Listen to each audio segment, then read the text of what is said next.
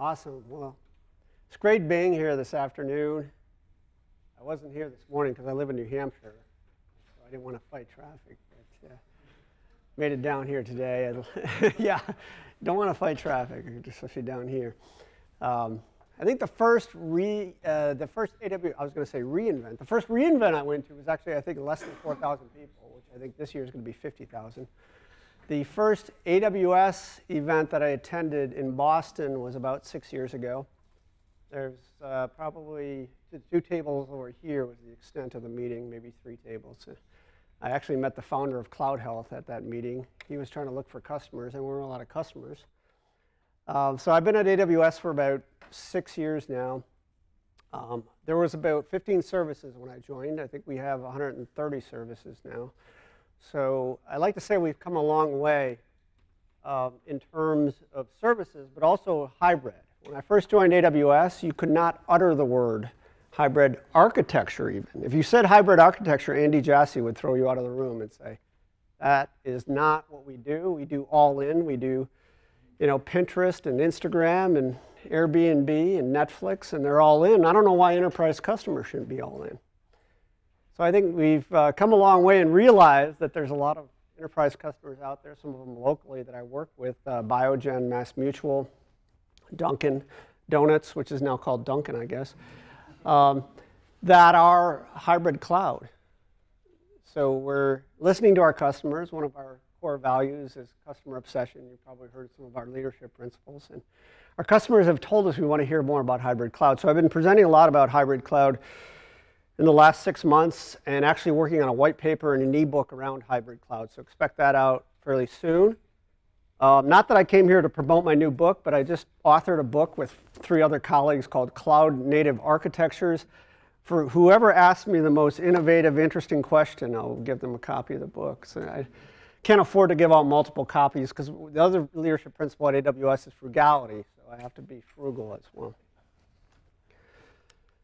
So I, I, ask you to ask me questions, confront me, tell me I'm wrong, tell me you're seeing other things because this is just my perspective and the customers that I've been working with and what I'm focused on and what I'm seeing. I'm going to talk a lot about case studies at the end.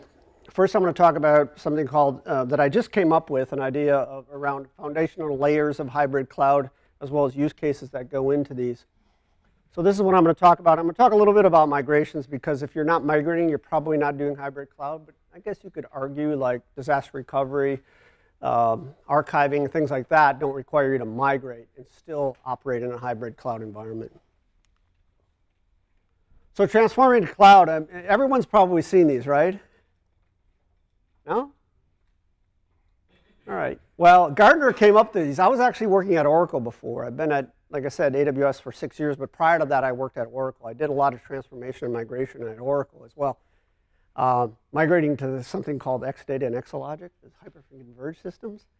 Uh, now I, I, do other things, obviously, but um, these were from Gartner in like, I believe in like 2008 or something. They came up with these re's. And a rehost is essentially a lift and shift.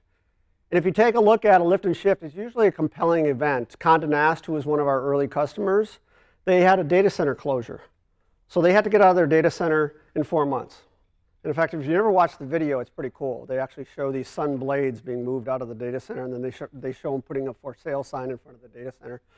So that's really, a lot of times people do lift and shift or rehost, and it's basically taking what you have, and some people call it like lifting and shifting your mess because you don't really change at all. You just take what you have. You have compute on, on premises. You move it to, to, to virtual compute or maybe to VMware on AWS. Or your storage, you keep it the same. So you're not really changing anything. If you have an F5 load balancer on premises, you're just moving it to F5 on AWS. Like I said, Condé Nast has been doing this, Capital One, GE, a lot of our big clients. It's a great way to realize some cost savings right up front.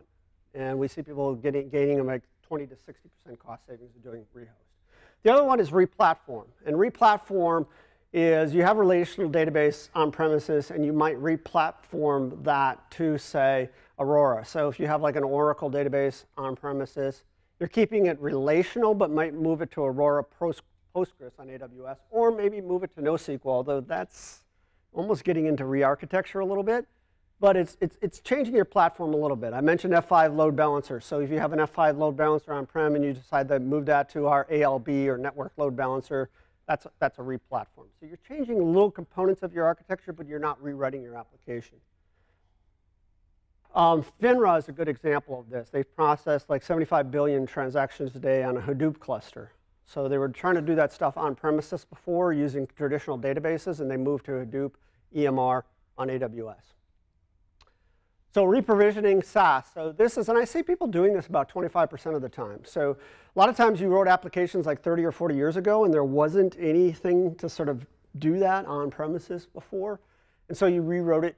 You wrote a custom application to say do inventory control. I mean, now a lot of people run, you know, SAP and Oracle and all these COTS applications, or like a Workday application to do human resources. So you take a custom application and replace it with a SaaS platform. We have Amazon Connect now which is a call center app. So if you have a call center app that's custom and you want to move it to AWS and use this sort of strategy, you could do that. And then the last one is re-architect. This is where it's more invasive. So you might move, say, a monolithic microservices to a microservices architecture or to a cloud native architecture like Lambda. So you're really pretty invasively going into your application and changing your application from one language to another or, like I said, monolithic to microservices and cloud native. Uh, examples of that, and I'm going to give you two examples, uh, one with Capital One, one with uh, Vanguard, as well as there's other examples out there I'm presenting with uh, Fender Guitar. They've, they've moved from a sort of monolithic architecture to Lambda serverless on AWS, and that was a complete re-architecture. Well, so how many people in this room with the company they work for have a hybrid strategy or are doing hybrid. So, yeah. Well, according to the statistics by IDC, 80% of customers are looking at some type of hybrid. And this is because you can't go into a Capital One or a GE or a Johnson & Johnson or a Coca-Cola and, ex and expect in five years they're even going to be transitioned to AWS. In fact, if you look at our journey, which we're going to make public fairly soon, is we have a journey to, um, to move, to, we have been on a long journey from moving to monolithic to microservices. We embarked in that journey in the early 2000s, and we're still not done. So this is even for Amazon.com, it's been you know, a, a long journey. And then uh, most virtualization, you know, most, most systems on premises are now virtualized thanks to VMware. They've been pervasive in the enterprise. And so why I bring this up is it makes it easier to move, right? Because we're all virtualized, right? So if you're moving virtual to virtual, it's, it's easier than moving physical to virtual. And what customers we find asking for is, well, one is they want sort of, in a lot of cases, a single pane of glass, but they also want some type of integration, right? They don't want to throw away what they have. And that's one of the things I always uh, emphasize when I talk about hybrid cloud to people is that it's not like a rip and replace. We have this concept of a one-way door and a two-way door at Amazon. A one-way door is a very, very difficult decision. Sort of like uh, creating a phone, like the Amazon Fire phone. When you made that decision, that was a significant decision. Didn't work out too well. But you, you think about a lot. Uh, but this isn't like a one-way door decision. You can still have stuff on-prem, and then you can run some stuff on AWS, and you're going to be on this journey for a while. So that's what we're also hearing from customers. They, want, they don't want to rip and replace everything and just throw it all in on AWS. Want to skip that slide because I see already that I'm, I'm going to have some good stuff at the end. And I want to cover, start covering this. So uh, this is a new model I came up with. Forgive me for my skills on PowerPoint. I'm not the most fantastic, you know, sort of graphics artist here. But how we're taking a look at hybrid cloud, and you're the first audience to see this, is this is a new slide on, on how we're looking at hybrid cloud in terms of a foundational layer. So if you take a look at any use case, like running tester dev on AWS or running Spot uh, to do cloud bursting on AWS, you're probably going to need a data integration layer, right? You're going to somehow have to get that data from on-prem to AWS, and maybe even every day you're going to have to synchronize that data from on-premises to AWS. Say if you're doing a data warehouse on AWS, you need to synchronize that somehow. You're going to need an operations management monitoring platform, right? You're going to need, and I, this is where I get into single pane of glass, whether it's actually a single pane of glass or not, or you allow people to actually go into the AWS console to do things, you're going to need some management platform, right, to provision your servers, to provision your infrastructure across on-premises and AWS. So compute over here, compute over there. Also your applications, right? You're going to need a CDCI pipeline in order to deploy both to on-premises and AWS, and then monitoring. I mean, we have CloudWatch, right, in order to monitor our services, but what are you going to do for on-premises? Are you going to then take those CloudWatch metrics and then move them into an on-premises environment? You're going to store them in a common repository and allow one platform. There's something, a concept called cloud brokers out there. A lot of the big uh, providers like BMC, CA that have been in the management and monitoring business for a long time allow you to do some of these things around management and monitoring. And then security, you're going to want to not get rid of Microsoft Active Directory or somehow integrate it into your on-premises Active Directory. So security is a foundational layer. And then networking, of course, right? You're going to need a network, whether it's a VPN or whether it's a direct connect, you're going to need some type of network. And then in terms of hybrid use cases, and I've thought about a couple of these uh, other ones after I put this slide together. Uh, but migrations is a common use case. Disaster recovery. A lot of people, when they start on AWS, doing disaster recovery, and whether that's active-active, sort of cold backup and restore, disaster recovery is a common hybrid cloud use case. New products, and I'm going to show you what I mean by that with an example from Capital One. Edge systems. So doing things like Lambda compute at the edge on edge devices is edge systems. And then cloud bursting is, is a common use case. I know even for the last, I've been in the industry for a while, about 15 years ago, everyone was always talking about this idea that compute was just going to be like all over the world, right? And you're going to be able to push workloads where they needed to be. It's never really happened, but we are sort of getting there now with the cloud and having the capability to run your data anywhere in any region. But uh, I'll give you an example of that as well. And then data center extension, which is a classic example of, say, running parts of your uh, SAP system on premises and then parts of it on AWS. So you're running your core ERP on premises and then running, say, SAP HANA to do analytics on AWS is a uh, data center extension work, uh, case. So the foundational layer is networking. I'm assuming, and I'm just going to, I can fly through this slide because everyone knows networking, just extending your own network, slash 16 network into AWS, private and public subnets. One of the first things you're going to do, right, when you're setting up a hybrid cloud environment.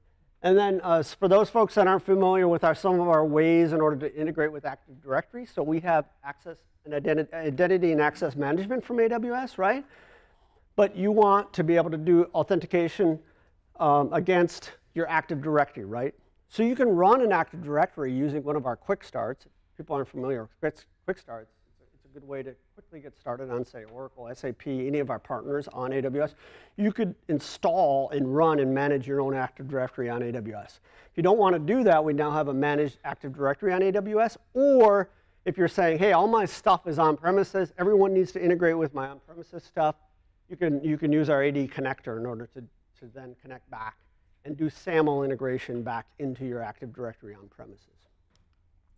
And then data integration. Uh, storage gateways is, is really one of the fundamental layers when you're going to do DR, backup and restore, right? So what storage gateway allows you to do is synchronize that iSCSI, that SMB, that NFS drive into AWS, instantiate those objects into S3, and then be able to then instantiate those and tie those uh, to an EC2 instance in order to do you know, backup and restore on AWS.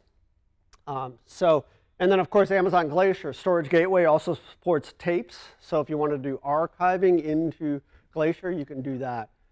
Uh, and then like obviously everything is stored in EBS snapshots. You can use you know companies like Cloud Endure, CloudVelox, Zerto, and things like that to actually snapshot your EC2 compute or, or your instances on-prem, your raw, your raw um, compute on premises into um, EBS snapshots that are stored, or um, AMIs that are stored in S3.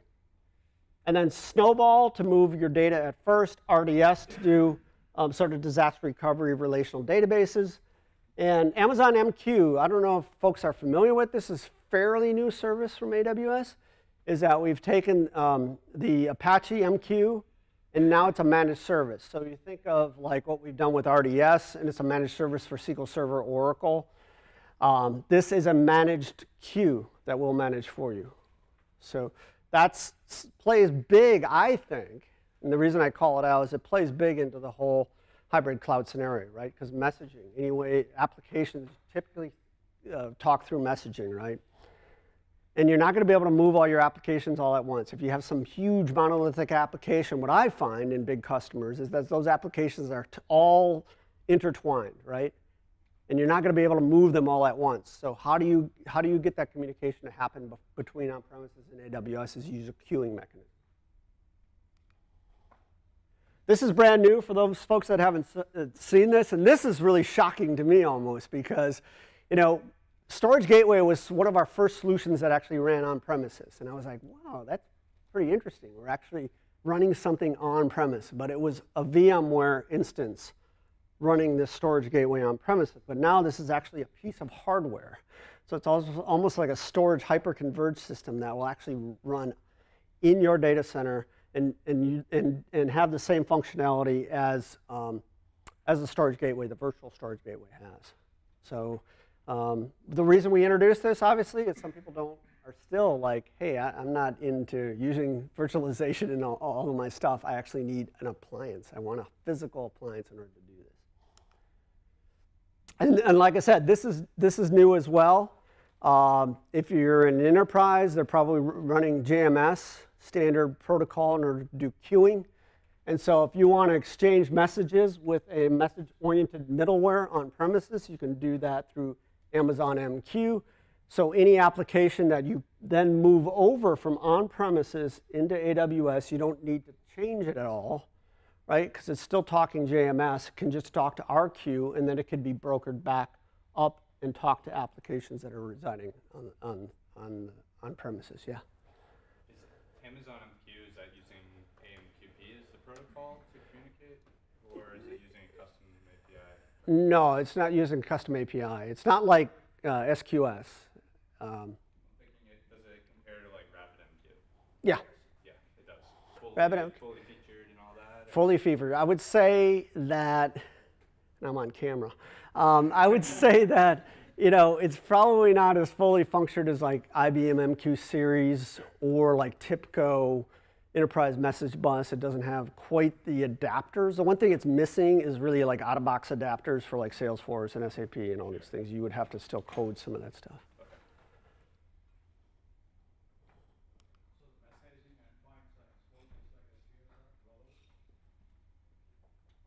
It's uh, well, it's it's a it's a you it's a publish and subscribe queuing system. So it's a bit different than SQS. Like SQS is a simple queuing surface service, and it has endpoints exposed publicly.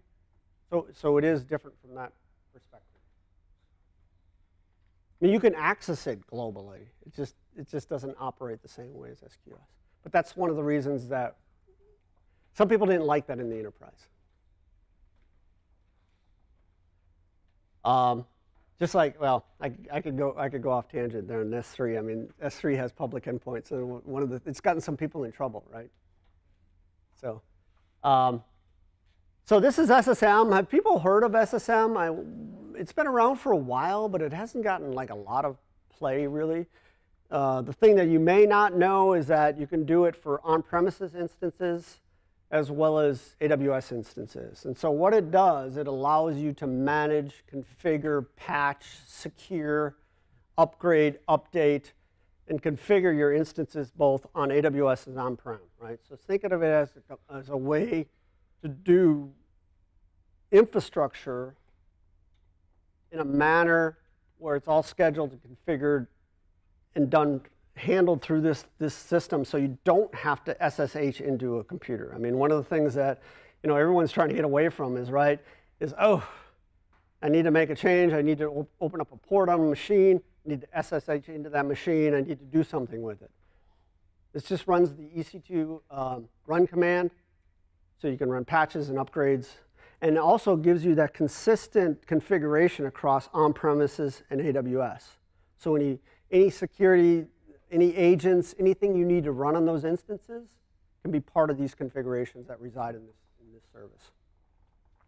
This is obviously for infrastructure.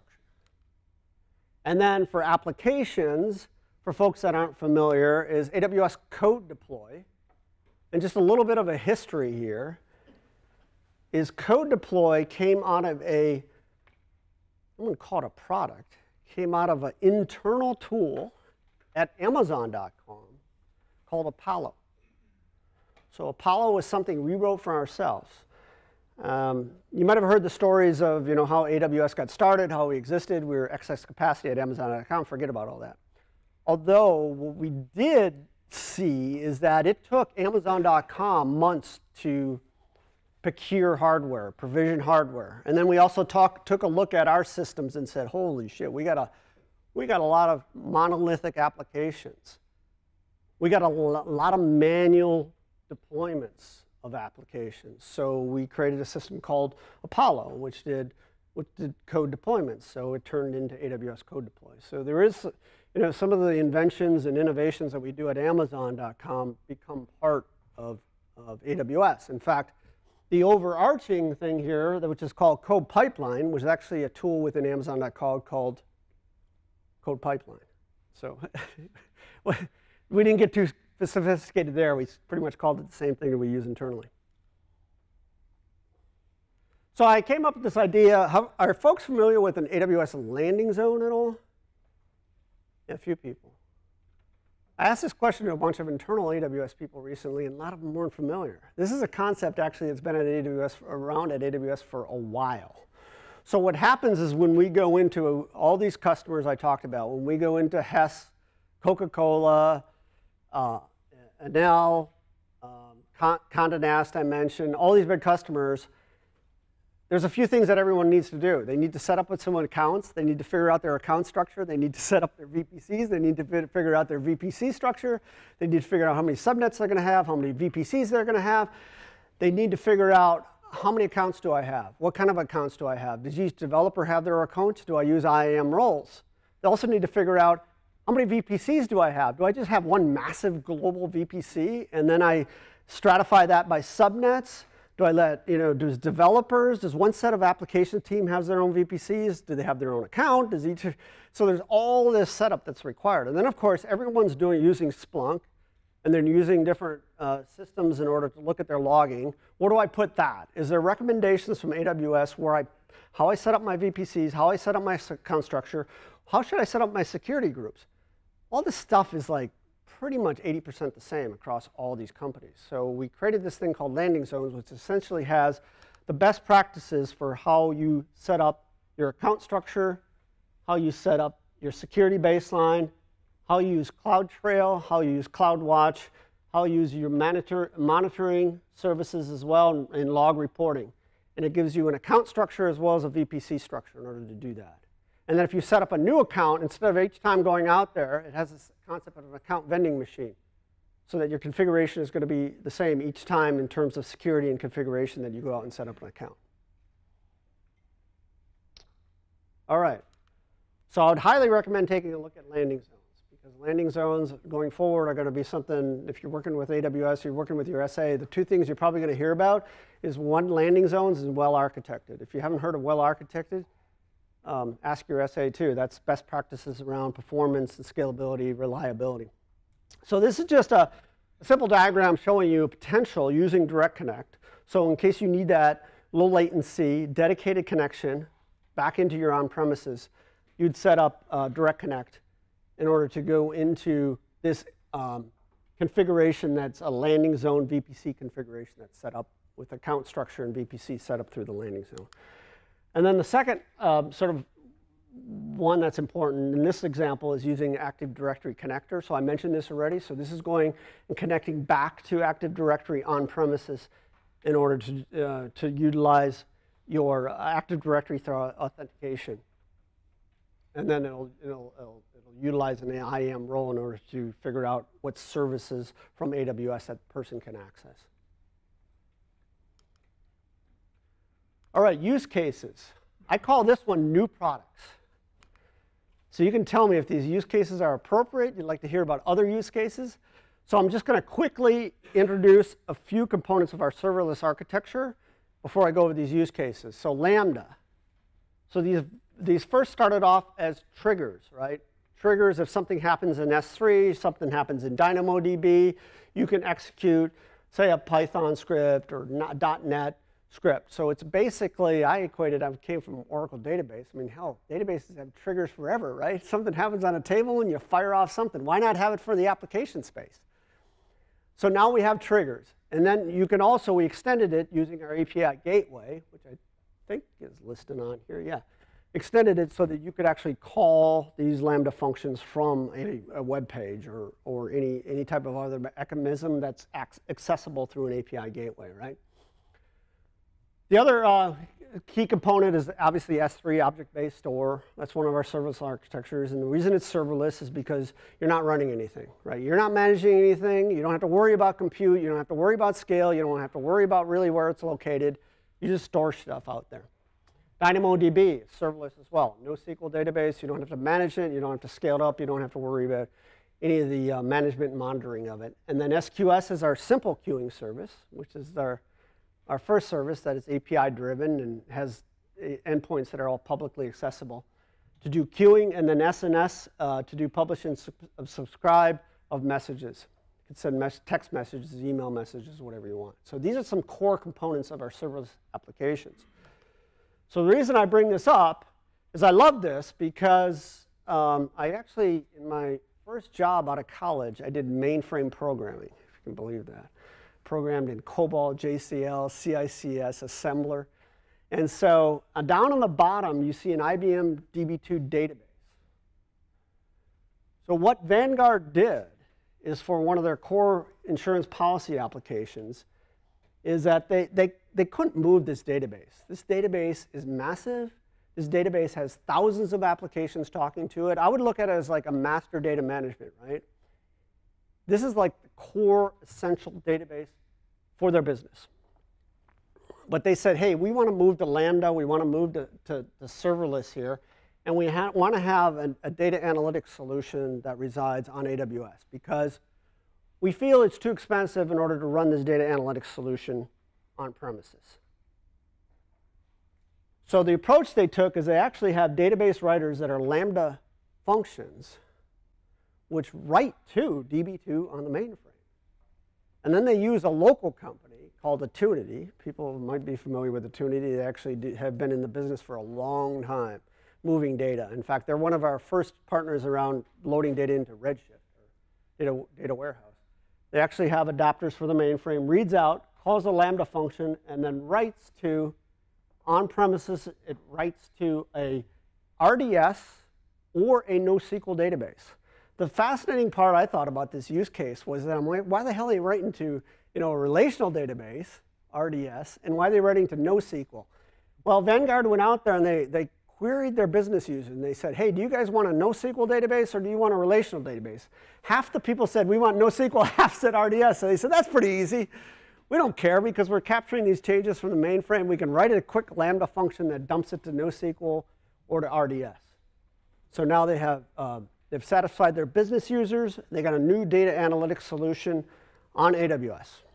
So that's a new product, right? Something they're they weren't feel they're capable of doing on, the, on their legacy mainframe. Example number two, a little bit more convoluted, but I'll try to make it simplified. This is Capital One. Capital One had a huge initiative out of digital transformation. In fact, one of the solutions, because of this architecture that, that uh, Capital One is able to introduce is Echo. So now you can use the Amazon Echo at home and say, hey, what's my balance? What's my last transaction? That's hard to do, and the data was residing on a mainframe. Early in my career, I had a project at FedEx. And do you realize, well, at least at the time, this was about, well, I shouldn't say early in my career, this was about 10 years ago. I went and talked to FedEx, and they said, we got to get this is killing us because every time someone goes out there and looks and does a tracking call to see where my package is at, it goes back to an IMS database on a mainframe, and it costs me anywhere between 25 and 75 cents a transaction. So in order to just be an annoyance, and I was, I was a little bit younger at the time, I went out there and I kept clicking on my tracking package thing because I wanted to see how much I could, you know, get up to like $1,000 in charges. But, so it's expensive to do things on a mainframe, right? Same thing here and that's a read, that's a query. What Capital One did is they went out there and looked at their landscape. They looked at their applications that are mainframe, and 90%, well, actually 80%, sorry, because I'm on camera, 80% were queries and reads. And they're like, this is crazy. It's costing us a lot of money to do these queries and reads.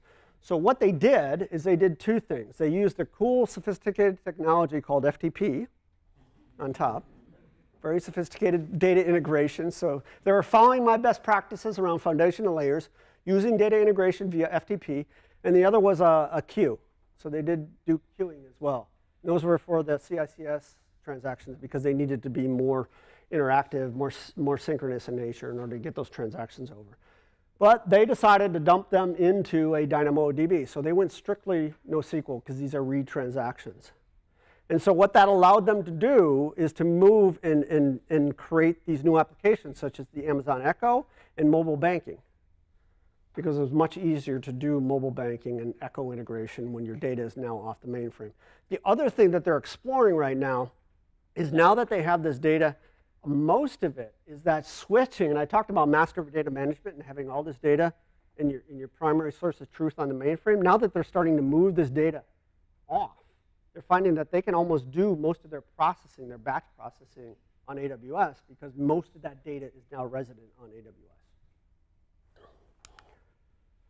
All right, edge systems. I'm gonna have to go quick. All right, so um, this is just systems. There, there's a project I can't talk about right now, but I'll, I mentioned Snowball Edge here. So in case you're not familiar with Snowball Edge, is you can actually run EC2 compute, small compute, as well as Lambda functions at the edge. So once again, AWS is almost getting to the point where we're offering you compute in your data center. I mean, it's getting, it's getting like so that you can you know, do some of this stuff at the edge.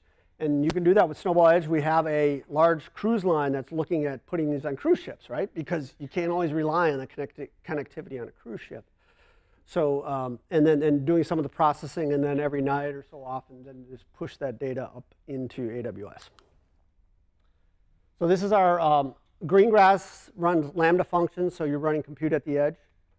Sometimes you don't want like I said, I mean, I talk to some customers, and I'm like, you're pushing that much data up into AWS? I mean, hell, it's driving up, driving up storage on AWS, but I don't think it's the best thing for the customer, right? So allowing customers to do some of that compute at the edge is important in IoT, and that's what we're providing right there.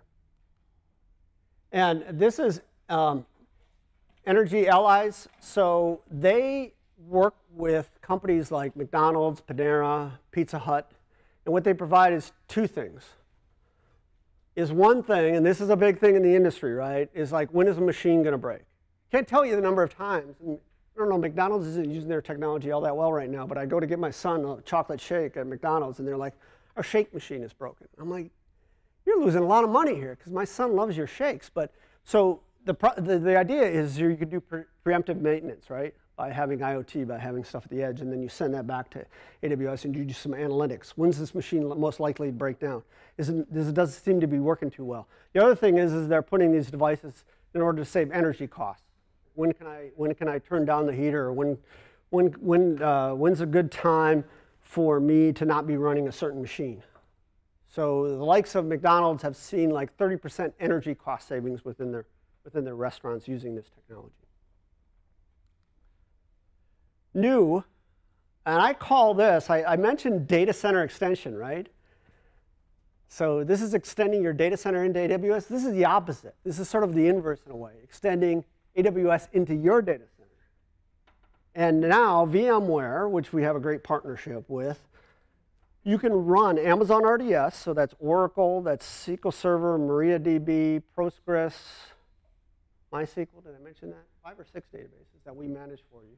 You can run them in a managed environment on premises. So this is running inside of VMware. Now the cool thing about this, when I talk to some people, is that they like running vCenter vSphere, they, they don't have to retrain people, right? So that's one of the big reasons that people choose a solution like that is that I don't have to go retrain my management people, my operations people, my database people, my DevOps people, is that they can use the same tools they use on AWS and then use them on-prem as well. And they can use AWS on-prem. So cloud bursting, folks familiar with Spot? So, yeah. You like the fact that, you know, before you used to bid on Spot, and now it's not really this whole arbitrage bidding thing, right? You just ask for price, and if you get it, you bid it. And I sort of like the old ways where you bid, you didn't know if you were going to get it. You, you, you did feel like that. It's sort of like, you remind me now, I went to Auto Trader or something in Manchester for time. I bought a car up there. And the guy's like, uh, this is the price. And I'm like, oh, I want to, I want to, I want to heckle with you. And the guy's like, no, we don't heckle here. I'm like, oh, that's boring. I'm going to go buy my car somewhere else. So, so, so anyway, so this is spot is you don't heckle anymore, but you can get up to 90% savings off of on demand.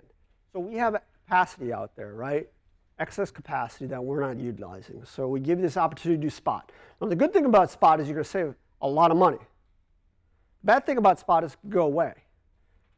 The good thing that we now offer you is the ability to dehydrate and hydrate that. So we have a hibernation mechanism. We'll give you a two-minute warning. Before, you just sort of went away.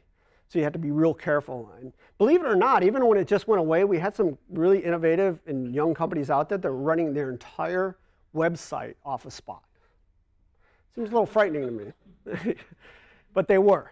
But now, with the ability to get that warning and be able to, you know, hydrate that stuff somewhere and then rehydrate it, you know, that gives you maybe, maybe the potential to do that a little less scary. So this is uh, FX. They do a lot of the video transcoding, a lot of the video stuff. And you can see, I mean, I only have seven minutes, so I'm going to go through that quickly. But um, you know, when you set up hardware, right, it takes you a long time to provision that. It takes you a long time. And the, the big thing about this, I think, is what people don't talk about sometimes is the fact that now you bought this stuff, what the hell you do with it once you don't need it anymore, right? Now you got all this hardware, well, you're going to find some other project that maybe needs some hardware. And that, they call that out, is uh, inexpensive computer usage, pay for what you use, and obviously near unlimited capacity. I mean, obviously you could get iced. I don't know if people are familiar with the term ice, is where you ask for say, 1,000, 2,000 instances, and we just don't have them available right there. We're going to come back and say, sorry, it's not available. It doesn't happen all that often, but could happen to you. All right, so this is uh, quickly what they're doing, cloud bursting. They chose to not use like Tsunami or some cool technology like FTP. They actually use their own custom synchronization solution. Or they could have used CloudEndure, they could have used uh, CloudVelox or Zerto or something like uh, that, and they use Accumulo, which is, a, is like a, we have our NFS uh, clustered file system that we offer, Elastic File System, but they choose to use a third-party clustered file system in order to do that. And then they use Spot in order to do the, the video processing. Video processing is a classic one, right, where you can really do Spot.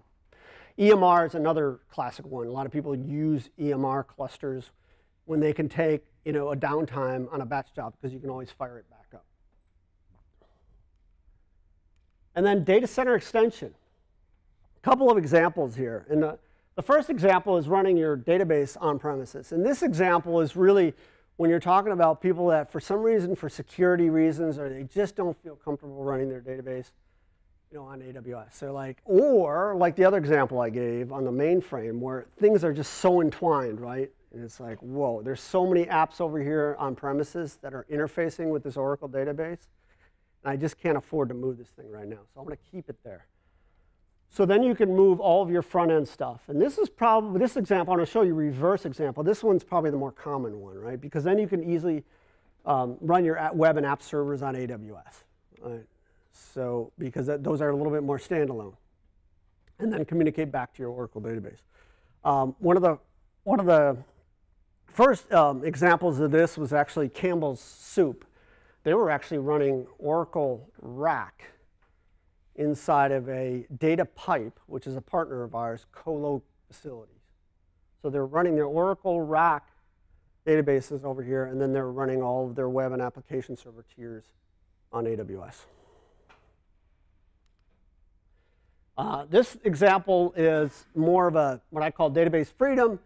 And when I talked about replatforming, right, I gave that example of replatforming platforming. This example is actually running your database um, on AWS, and for some reason you decide that your web and application tier, it's so monolithic, it's so old, it's so entangled, it's got so many different components to it that I just can't move it. I got to leave it on prem because this thing is so brittle, so fragile. But I want to free myself from some Oracle licenses. And so I'll move to Oracle, or I'll move to Aurora Postgres. So this is another possible example. The nice one about this example, in case you're not aware of it, is that our elastic load balancers, I call them elastic load balancers. Now we have network load balancers, which are TCP IP, and we have um, application load balancers, which, uh, which, load balance at the HTTP, HTTPS layer. Um, is you could you can actually still run that on AWS, and and and because and then you could use CloudFront, Route 53. You could use all those to to to, to load balance your um, web service and application service on um, on your um, on premises. So you can load balance both across AWS instances as well as um, is ones running on premises. All right, this one is Brooks Brothers. Brooks Brothers. It was funny because I, one of the questions I asked in order to get a book at a conference I just was at is like one of the questions was when was Brooks Brothers founded? And the guy ran up right after the presentation. He opened up his suit. He goes 1818 he had it in his inside. It's like, wow, it's embroidered in the suit, coat. And he goes, yeah. So 1818, they've been around for a long time. Um, I wanted to point out, see, they're running the R instance type, so that's a lot of RAM, right? When I joined the company, and I, I go back to this, it's, it's 256 gigs of RAM was the most that you could get. 256. Now we just introduced uh, close to 12 terabyte. So we've come a long way again. I mean, I, when we introduced the two terabytes, I was like, God, two terabyte XL is like crazy. And that was actually driven by SAP. SAP was the company that was just on us to say, we need bigger memory instance types. And the reason they need them is because of HANA. So HANA's the in-memory column uh, um, OLAP-based uh, database for doing analytics and things like, and queries like that. So uh, they really pushed us hard, and we and I just actually this was just a few days ago that we introduced the, the 12 terabyte um, instance uh, memories. But these they're using the R family. That was sort of the, the, the classic family, and they're using Direct Connect. So here they're using Direct Connect. The other thing I wanted to point out is that they use their Quick Starts. So I talked about Quick Starts. So Quick Starts allows you to, to set up your VPC, your VPC subnets, your security groups, the instance types and you can query too. I mean, you can, you can give the user a choice. What do you want to, how do you want to deploy this? But it's a templatized using CloudFormation, templatized template that we work with like in the likes of SAP and all of our partners, Microsoft, to create these templates that quickly allow you to deploy like an SAP HANA environment on AWS. This one is uh, Kellogg's, another company that's been around for quite some time. Kellogg's decided they took a little bit slower approach and they decided to run test and dev on AWS. And they're actually still keeping their ERP and production HANA on premises. But they, they took their promotional systems that run HANA and ran them, uh, are running them on AWS. So they're still running some of their core stuff in terms of SAP HANA, but in terms of promotional, they found that the cost and the scalability just wasn't there for on-prem because promotions take a lot of data, right? They're going to crush a lot of data and say, what's the best marketing campaign we should run? So they're running that stuff on AWS, but they're running their traditional uh, sort of analytics on premises. The, the interesting thing that I find here is that they're actually, they don't even need a direct connect. Which you would think if you're running in sort of a data center extension mode that you would want direct connect, but they're using VPN. Works for them. And then you can read this one. All, everything that I talk about in this session is publicly accessible.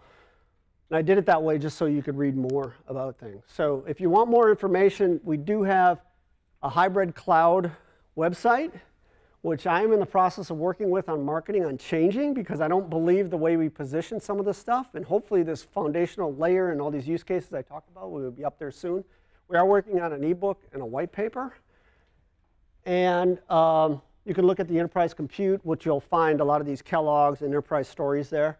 And then, of course, you have to go out and buy you know, this book, which is going to be brilliant for you. Um, and let me see, I had, I had two questions. So, oh, we got one more. So you see they're going in for the book.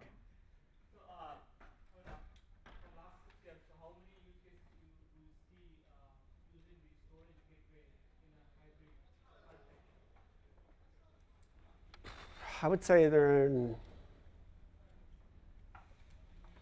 the public ones. The public ones, I, I, and I could give them to you if you give me your card. I would say they're in the probably the 20th, 20 range, somewhere in there, the public ones.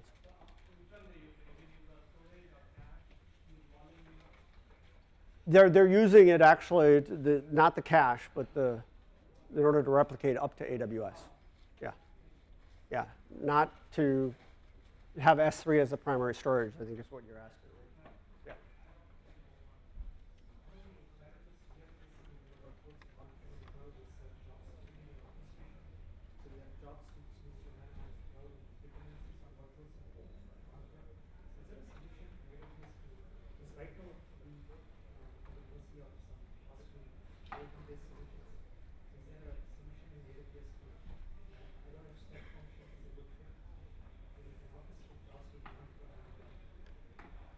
We should talk afterwards. I think, I think there's a document in that. I think there, no, we don't have anything like that, but that would be a good one. In fact, that just came up with a customer I was, I was meeting with. This idea, I think this is where you're going with this idea of you don't really care what's running, but you need something to orchestrate it and figure out where the data is at, figure the best way to run the application, and then sort of push it where it needs to go, right? Yeah, we don't, we don't, we don't have anything, but I like, I like the idea. So you have to give me your card. Other thing, other problem we face is uh, latency. When you split this to get data, uh, so this latency is a big challenge. Yeah, the one thing I didn't talk about with like that Capital One example in the Vanguard one example, there was a lot. They did a lot of work in order to optimize those Lambda functions. So yes, it's you know I hate to I hate to sound like an architect, but it depends. and almost everyone that I've been aware of has to go through some type of use X-ray, use some other tools, use AppDynamics, use New Relic in order to figure out what your pain points are, and you're gonna you're gonna have to optimize. Yeah. Thanks. Awesome. Well, thanks for coming. I'll be up here for a few minutes to answer questions.